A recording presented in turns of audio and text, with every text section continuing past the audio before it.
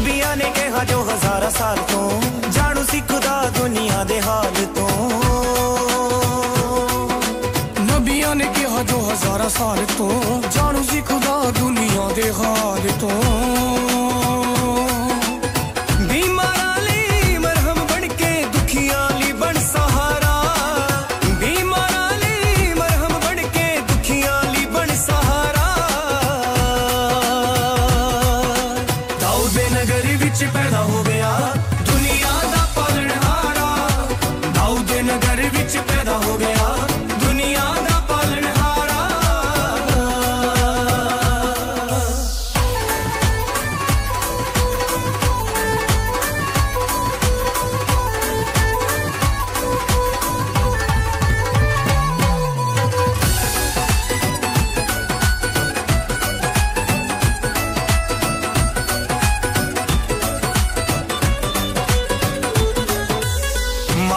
ਮਰੀਮ ਦੇ ਘਰ ਵਿੱਚ ਯਿਸੂ ਬਾਲਕ ਬਣ ਕੇ ਆਇਆ।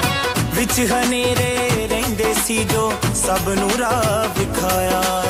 ਮਾਂ ਮਰੀਮ ਦੇ ਘਰ ਵਿੱਚ ਯਿਸੂ ਬਾਲਕ ਬਣ ਕੇ ਆਇਆ। ਵਿੱਚ ਹਨੇਰੇ ਰਹਿੰਦੇ ਸੀ ਜੋ ਸਭ ਨੂੰ ਰਾਹ ਵਿਖਾਇਆ।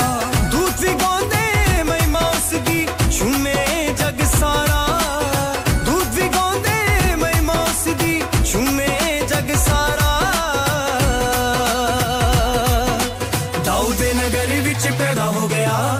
ਦੁਨੀਆ ਦਾ ਪਾਲਣਹਾਰਾ ਦਾਊਦ ਨਗਰ ਵਿੱਚ ਪੈਦਾ ਹੋ ਗਿਆ।